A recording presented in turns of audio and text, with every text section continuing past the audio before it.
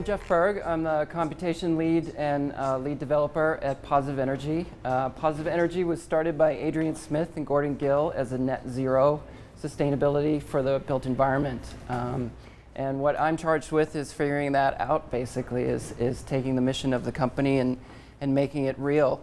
Um, what we found in that, in that mission is that we need to get in on the process, the design process, at the very first stage. You can't wait until after the, the planners have, have done what they want to do with the site. We need to be able to give the planners insights uh, about their uh, designs uh, as they're designing.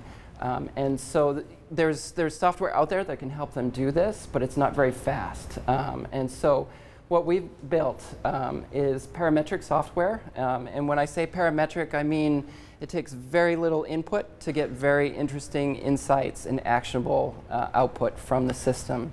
Um, collaborative um, is really, it's, it's web-based. You can, you can have stakeholders in Russia, China, Chicago, um, work together and look at the same model and see the same exact results um, that the model uh, outputs.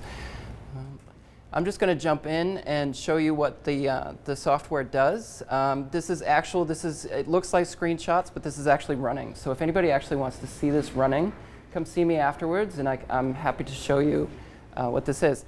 Um, so what you see here is the, the 3D uh, model pulled in. Um, the 3D model was created by urban planning team.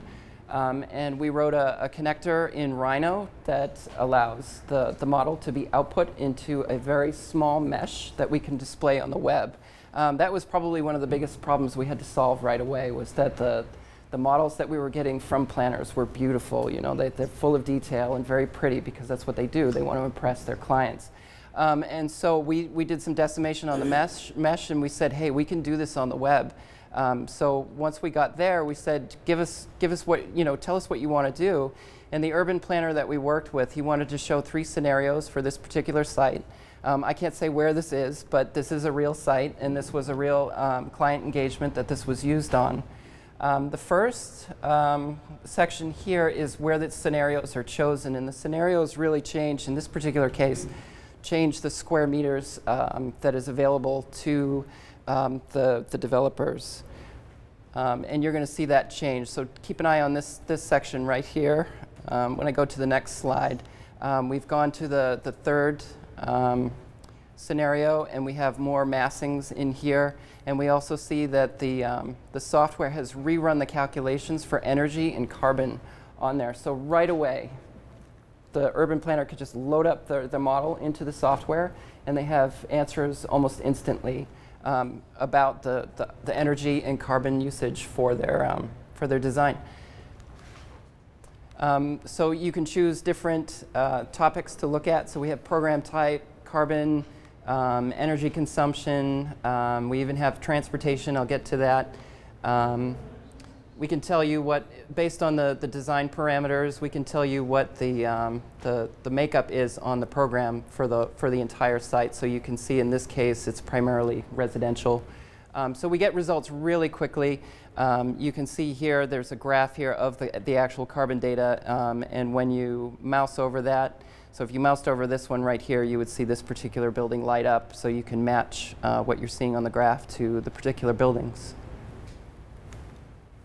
Um, on this slide, what we've done is we've actually um, clicked on this building, and this has opened the building editor. Um, so the planners can go in and without having to um, redesign the model or anything, they can redefine the building. So they can increase the floor area ratio. Um, they can also change from residential to like a hotel. Um, they could change it into a parking garage, and we will rerun the numbers on there. so in this case, you can see that we changed it, this particular building to a hotel from a residence. Um, and that had an effect on the, um, the output numbers there. Um, the other concern for this particular site um, was there, this area right here was uh, a sensitive area. It's a religious um, center, and we could not allow the buildings to really impinge on that, that site. So one of the concerns was, what does the shadows do um, what does the lighting do? So this software is also capable of very simple shadow modeling uh, within there. Um, Uh, so that was, that was kind of an add-on that we, that we had fun uh, putting in there. Um, this is the transportation, um, and this is where things got a, a little interesting. Um, this is where things get really parametric. We got parametric when we, when we made the, the changes to the buildings themselves, and we were able to, to re-output um, the results. Um, in this case, we're actually pivoting the entire application. So before, uh, what was driving the application was the, the definitions of the buildings, the programs within it, the occupancy rates, the ASHRAE standards. Um, once we click on transportation, we are now pivoting the application to say, okay, now do those same calculations, but from a transportation perspective. Um, so we're not so focused on what the independent and dependent variables are um, within the application. So we're really able to start tackling problems from many different directions um, in a, a, connected, connected way, um, which is really important when you're thinking about the urban environment with um, connected systems um, and how they affect one another. Um, so in this case, we calculate the actual trip demand. so we know the occupancy rates of the buildings. Um, and th these, these right here are the roads coming in, um, and we were constrained to these two entry points because of the, um, the nature of this area. It couldn't be touched, so there, no roads could come down through here. Um, and so we, we showed um, just really quickly, using a very simple model, um, what the load would be on each end. Um, and what we did was we have a, a maximum trip count, um, and it's too blurry to read it, but I think it's, yeah, it's 82 million trips uh, for the entire year. Um, and what we're going to do is we're going to reduce it. And since we're now using these as our, our input variables, we're saying we have to reduce the size of the building. So I don't know if you caught that, but the buildings actually shrank here um, so that the, the urban planner can get an idea, okay, if we were constrained to 37 million trips, this is what I have to work with. Um, and this, we can take these models, we can output them as um, OBJ files, and they can use them as ghosts within Rhino or whatever 3D modeling software that they want to use um, to reapproach the design. Um, so that was that tool was very successful. We, we were we were really happy with that. Um, the the primary problem we saw with that was the fact that these particular models had to come from the urban planners themselves. And so we wanted to take a step back and say, well, well what can we do to make this process even faster? Um, like I said earlier, the, the further in um, at the beginning that we can get, um, the more potential there is for a, a sustainable design at the end.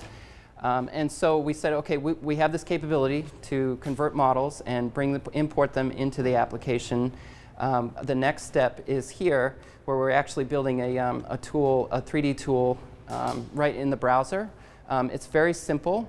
Uh, one of the um, applications that we're looking at for this is also civic engagement.